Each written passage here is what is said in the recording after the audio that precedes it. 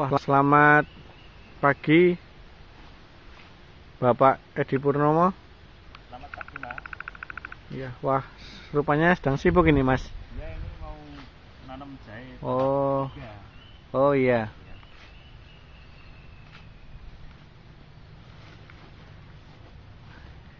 Ini di depan bibitnya ya, Ini ini. Nih.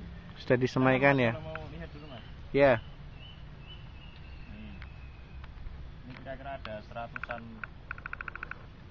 bibit ini. ini mau ditanam ya, Iya Mas Pur ya. Iya. Silahkan kalau mau lihat caranya. Iya. Silakan mas.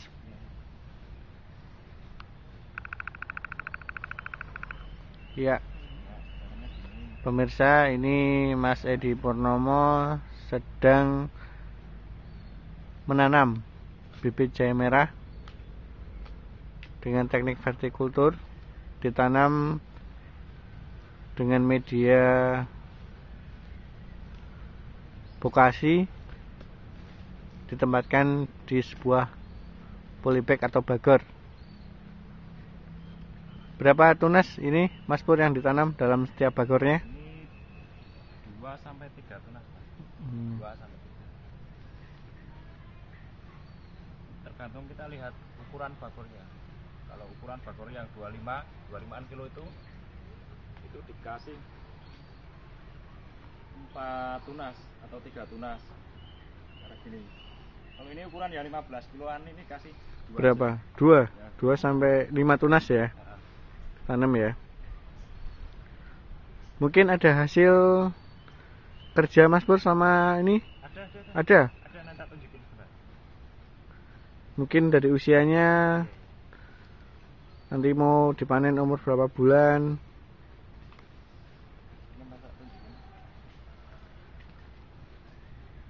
Nih. Ini yang umur dua bulan setengah. Sini mas, mau lihat dulu mas.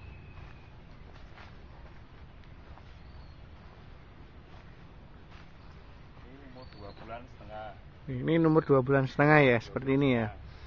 Ini tingginya rata-rata berapa ini? 50 cm ya? 50-an sampai 60 cm mas. Iya. Mm-mm.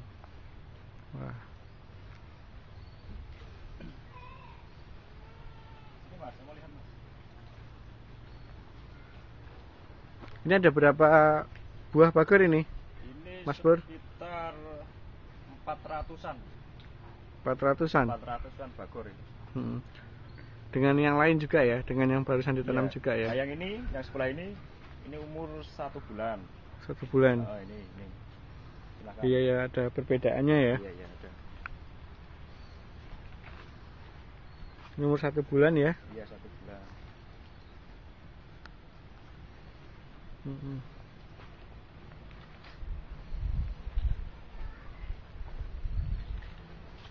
Ya. Untuk media tanamnya pakai bokasi. Ini berapa hari ini Ini untuk kita- medianya?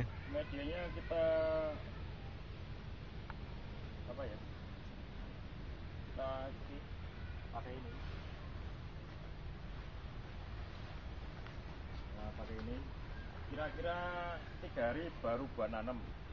Kita campur dulu aduannya. Kita buat Hmm. basi tiga hari kita pakai cukup pakai ini.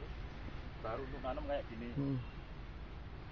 Jadi ini organik betul ya, Organik. tanpa ada campuran, 100% organik. eh, tanpa ada unsur kimia ya. Tidak ada, tidak ada. Iya. Ini landasan apa ini, Mas Edi Purnomo menanam jahe merah?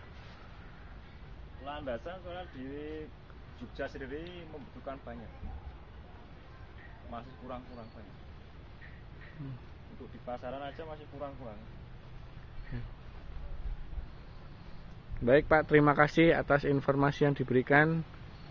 Salam sukses selalu dengan ketekunan dan keuletan. Semoga bisa panen sesuai dengan yang diharapkan.